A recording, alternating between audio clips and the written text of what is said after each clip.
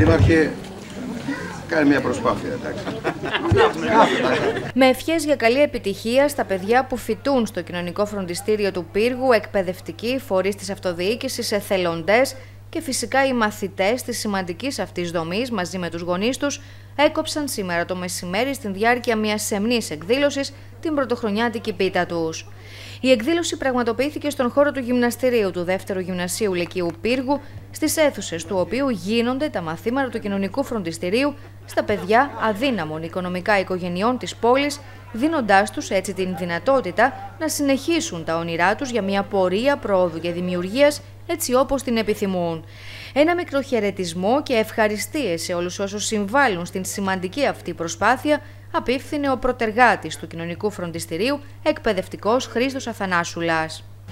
Να ευχαριστήσουμε και από εδώ ε, εθελοντές, ε, χορηγούς που μας βοηθάνε από σήμερα, από όταν αρχίσαμε μέχρι και τώρα, ε, το Δήμο, τη Μητρόπολη από Φορείς, αυτή είναι κοντά μας. Να πω καλή χρονιά σε όλους χρονιά με αλληλεγγύη, να μπορέσουμε να σταθούμε στα πόδια μας.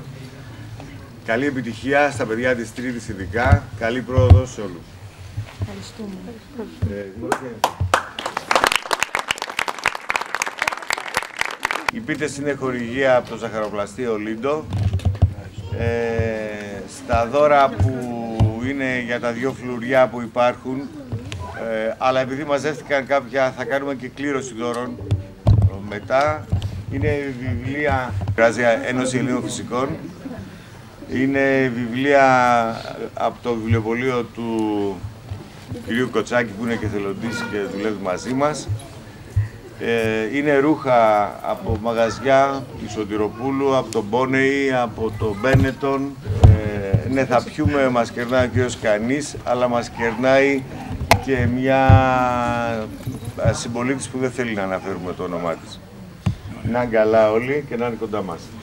Την πίτα έκοψε ο Δήμαρχος Πύργου Μάκης Παρασκευόπουλος, όπου και τόνισε ακόμα μια φορά απευθυνόμενος στους μαθητές ότι το στίχημα είναι να πιστέψουν ότι έχουν την δύναμη να αλλάξουν την μοίρα της ζωής τους και του τόπου τους.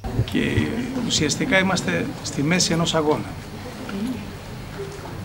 Νομίζω ότι έχουμε πια τις ευκαιρίες και συνειδητοποιούμε κάθε μέρα ότι αυτή η τύχη είναι δικιά μας, η μοίρα είναι δικιά μας. Και μπορεί αν προσπαθήσουμε πέρα από τις δυνάμεις μας αυτή τη μοίρα να την καθορίσουμε εμείς. νομίζω ότι αυτό είναι το στίχημα από εδώ και πέρα. Και για την προσωπική ζωή του καθενός και τη δική σας προσωπική ζωή αλλά και τη ζωή της χώρας η μοίρα αυτής της χώρας, αυτού του τόπου, είναι στα δικά σας χέρια. Πιστέψτε το βαθιά. Και αν το πιστέψετε, μέχρι θαύματα μπορείτε να κάνετε. Δεν έχω να πω τίποτα άλλο. Ευχαριστώ από την καρδιά μου, ειλικρινά, ε, από το βάθος της συνείδησής μου, τους φίλους καθηγητές του δημόσιου και του ιδιωτικού τομέα, που αφιέρωσαν ένα μέρος της ζωής τους σε αυτή την προσπάθεια. Και ευχαριστώ σε εσάς που εμπιστευτήκατε αυτή την προσπάθεια. Προσπαθήστε και στο τέλος κανείς δεν θα χάσει. Να είστε καλά.